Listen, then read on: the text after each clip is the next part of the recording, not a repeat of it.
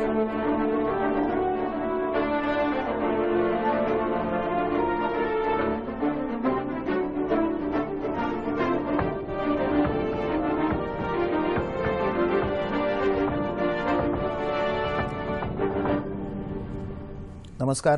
साडेआठच्या बातमीपत्रात मी शैलेश पेठे आपलं स्वागत करतो. सुरुवातीला एक नजर ठळक बातम्यांवर. दहशतवादाला आश्रय देणाऱ्यांना जागतिक पातळीवर एकटं पाडण्याचं पंतप्रधानांचं ब्रिटिश संसदेत आवाहन भारतात असहिष्णुतेला थारा नाही पंतप्रधान नरेंद्र मोदी यांचं संयुक्त निवेदनात स्पष्ट प्रतिपादन भारतात आर्थिक सुधारणांची वाटचाल योग्य दिशेने होत असल्याची आंतरराष्ट्रीय नाणेनिधीची प्रतिक्रिया येत्या वीस तारखेला नितीश कुमार तिसऱ्यांदा बिहारच्या मुख्यमंत्रीपदाची शपथ घेणार. लेबनॉनची राजधानी बैरूत इथं झालेल्या बॉम्बस्फोटात त्रेचाळीस जण मृत्युमुखी इस्लामिक स्टेटनं जबाबदारी स्वीकारली आणि भाव बहिणीच्या नात्यातले स्नेहबंध दृढ करणाऱ्या भाऊबीजेनिमित्त सर्वत्र उत्साहाचं वातावरण. पाहूया सविस्तर वृत्त. दहशतवादाला आश्रय देणाऱ्यांना जागतिक पातळीवर एकटं पाडावं असं आवाहन पंतप्रधान नरेंद्र मोदी यांनी केलं. ते काल ब्रिटिश संसदेत भाषण करत होते. असा बहुमान मिळणारे मोदी हे पहिलेच भारतीय पंतप्रधान आहेत. दहशतवाद हे सध्याच्या काळातील सर्वात मोठं आव्हान असून जगानं एकजूट होऊन याविरुद्ध आवाज उठवला पाहिजे असंही त्यांनी स्पष्ट केलं. दहशतवादी गट वा राष्ट्रांबाबत कोणताही भेदभाव करता कामा नये असंही मोदी म्हणाले. दहशतवाद आणि धर्म यांची फारकत करण्यासाठी सामाजिक मोहीम हाती घेण्याची गरज त्यांनी यावेळी अधोरेखित केली. जागतिक पातळीवर भारत हा आशा आणि संधी याचा केंद्रबिंदू ठरत आहे असंही पंतप्रधान म्हणाले.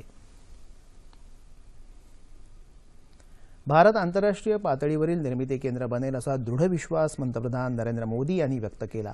ते काल लंडनच्या गिल्डहॉल इथं उद्योग जगताशी संवाद साधत होते. भारतीय अर्थव्यवस्था गतिमान व्हावी यासाठी अनुकूल परिस्थिती निर्माण करण्यात आली असून आगामी काळात त्यात अधिकाधिक सुधारणा होईल अशा शब्दात पंतप्रधानांनी उद्योग जगताला आश्वस्त केलं. दोन हजार सोळामध्ये नवीन वस्तू आणि सेवा कर लागू होईल असा विश्वासही त्यांनी व्यक्त केला. थेट परदेशी गुंतवणुकीबाबतच्या नवीन सुधारणांमुळे भारत हा मुक्त अर्थव्यवस्थेसाठी जगातील महत्त्वपूर्ण केंद्र बनत आहे असंही मोदी यावेळी म्हणाले.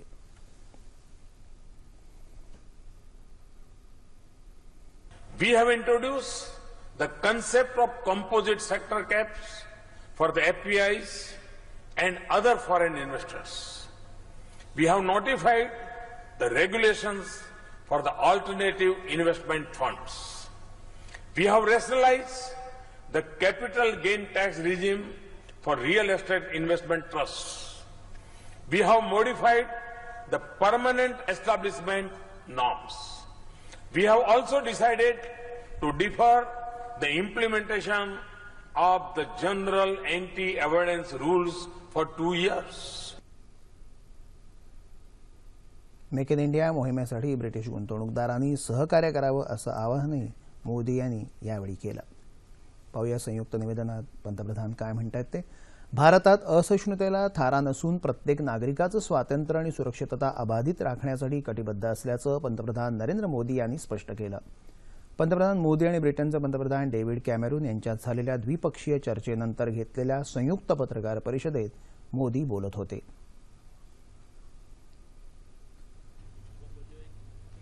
हिंदुस्तान के किसी भी कोने में कोई भी घटना घटे, भारत के लिए वो घटना एक हो या दो हो या तीन हो, सवा सौ करोड़ के देश में एक घटना का महत्व है कि नहीं है, ये हमारे लिए मायना नहीं रखता है। हमारे लिए हर घटना गंभीर होती है। हम इसको किसी भी हालत में टॉलरेट नहीं करते हैं। कानून कठोरता से कार्रवाई करता है और करेगा। और भारत एक वाइब्रेंट डेमोक्रेसी है, जो संविधान के तहत सामान्य से सामान्य नागरिकी के जीवन को, हर प्रकार की सुरक्षा, उसके विचारों की रक्षा, उससे प्रतिबद्ध है। नागरी अणुकरार हा दोन्ही देशातील परस्पर विश्वासाचं प्रतीक असल्याचंही मोदी म्हणाले. संरक्षण व्यापार अणुऊर्जा स्वच्छ ऊर्जा आरोग्य पर्यावरण आदी क्षेत्रात उभय देशांमध्ये महत्त्वाचे करारही झाले. हमने सिविल न्यूक्लियर एग्रीमेंट पर हस्ताक्षर किए हैं। यह हमारे आपसी विश्वास का प्रतीक है और हमने क्लाइमेट चेंज का सामना करने के लिए हमारे दृढ़ संकल्प का परिचय भी दिया है। भारत के global centre for clean energy partnership में सहयोग पर समझौता हुआ है। इससे वैश्विक न्यूक्लियर इंडस्ट्री में सेफ्टी और सिक्योरिटी और मज़बूत होगी। यूके के अमरावती, इंदूर आणि पुणे या शहरांचा स्मार्ट सिटी म्हणून विकास करण्यासाठी ब्रिटन सर्वतोपरी सहाय्य करणार असल्याचं कॅमेरून यांनी सांगितलं. ब्रिटन रेल्वे रुपी बॉन्ड जारी करणार असून संयुक्त राष्ट्र सुरक्षा परिषदेत भारताच्या स्थायी सदस्यत्वाला ब्रिटनचा पाठिंबा असल्याचंही स्पष्ट करण्यात आलं. तसंच दहशतवाद आणि सायबर गुन्ह्यांना पायबंद घालण्यासाठी उभय देशांनी सर्वतोपरी सहकार्य करण्याचं मान्य केलं आहे. दरम्यान लंडनमधील पार्लमेंट स्क्वेअर इथल्या महात्मा गांधीजींच्या पुतळ्याला पंतप्रधान नरेंद्र मोदी आणि ब्रिटनचे पंतप्रधान डेव्हिड कॅमेरॉन यांनी आदरांजली अर्पण केली. भारतानं अंगीकारलेल्या आर्थिक सुधारणांची योग्य दिशेने वाटचाल सुरू असून त्यांना व्यापक पाठिंबा असल्याचं आंतरराष्ट्रीय नाणेनिधीनं म्हटलं आहे. मोदी सरकारनं हाती घेतलेल्या सुधारणांना आपला पाठिंबा असल्याचं संस्थेचे प्रवक्ते गेरी राईस यांनी काल वॉशिंग्टन इथं एका पत्रकार परिषदेत सांगितलं. नरेंद्र मोदी यांनी या आठवड्यात घोषित केलेल्या आर्थिक सुधारणांबाबत विचारणा केल्यानंतर त्यांनी ही प्रतिक्रिया दिली. पाहूया इतर काही महत्त्वाच्या बातम्या. बिहारचे नवे मुख्यमंत्री म्हणून नितीश कुमार यांचा येत्या वीस तारखेला शपथविधी होणार आहे. पाटणा इथल्या गांधी मैदानात नितीश कुमार मुख्यमंत्रीपदाची शपथ घेतील. नितीश कुमार तिसऱ्यांदा बिहारच्या मुख्यमंत्रीपदी विराजमान होणार आहेत. दरम्यान उद्या पाटणा इथं महागठबंधनची बैठक होत असून या बैठकीत बिहार विधानसभा भंग करण्याची शिफारस राज्यपालांना करण्याबाबत निर्णय घेण्यात येईल. राष्ट्रीय जनता दलाचीही आज बैठक होत असून या बैठकीत नव्या नेत्याची निवड करण्यात येईल.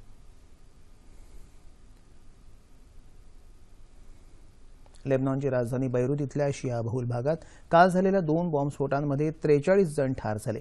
इस्लामिक स्टेट या दहशतवादी संघटनेनं या स्फोटांची जबाबदारी स्वीकारली आहे. अतिशय गजबजलेल्या भागात झालेल्या स्फोटात दोनशेहून अधिक जण जखमी झाले आहेत.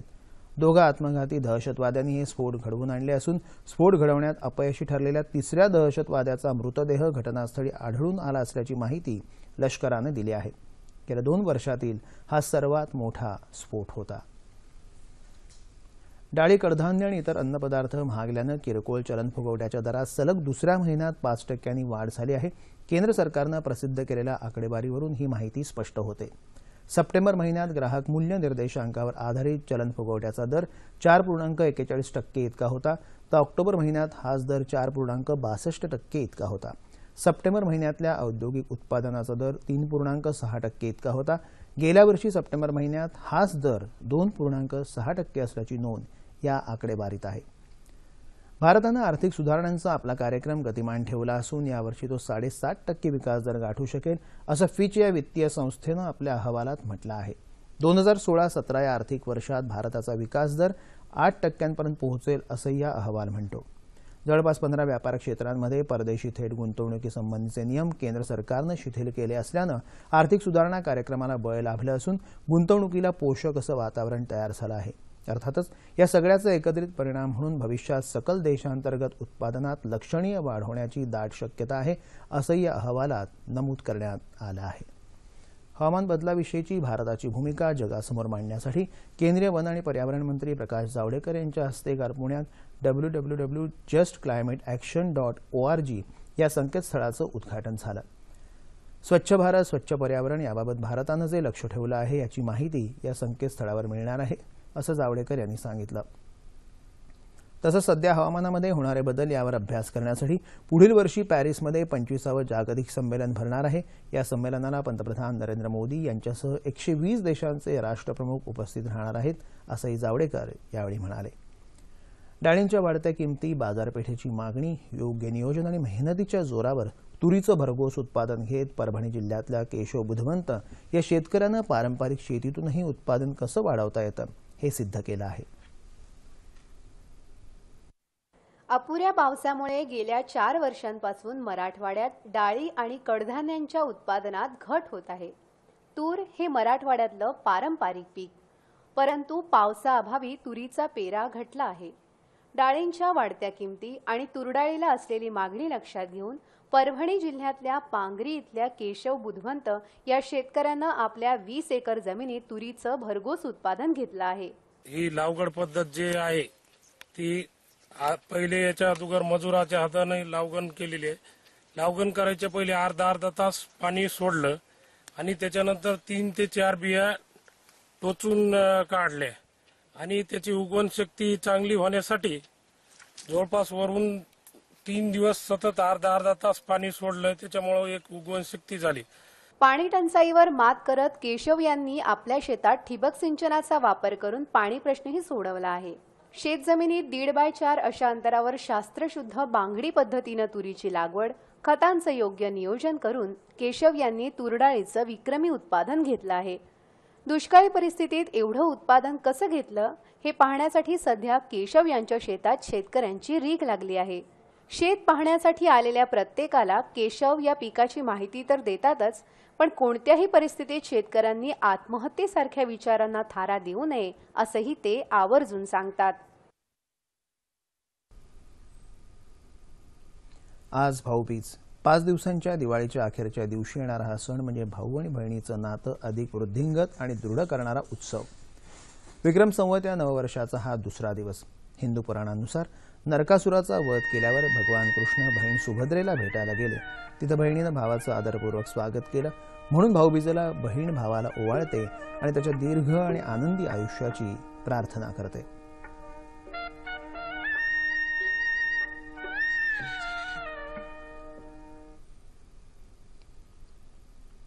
पुण्यातल्या शिवाजी मिलिटरी स्कूलमध्ये असलेल्या शिवाजी महाराजांच्या अश्वारूढ पुतळ्यासमोर शिवजयंती महोत्सवातर्फे दीपोत्सवाची सुरुवात पालकमंत्री गिरीश बापट यांच्या हस्ते पणती लावून करण्यात आली.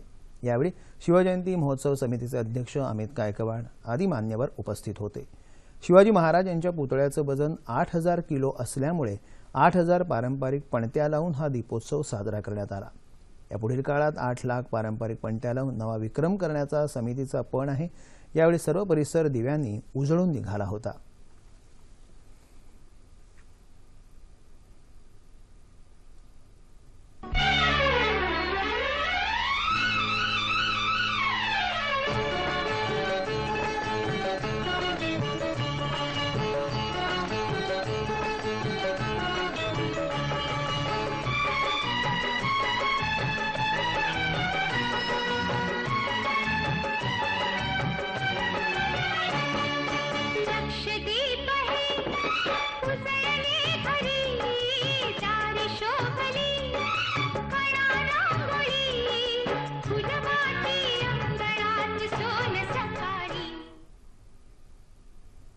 पुणे नवरात्र महोत्सवातर्फे पाडव्याच्या दिवशी अंध अनाथ आणि एड्सग्रस्त बांधवांसाठी दिवाळी संध्या या कार्यक्रमाचं आयोजन करण्यात आलं होतं.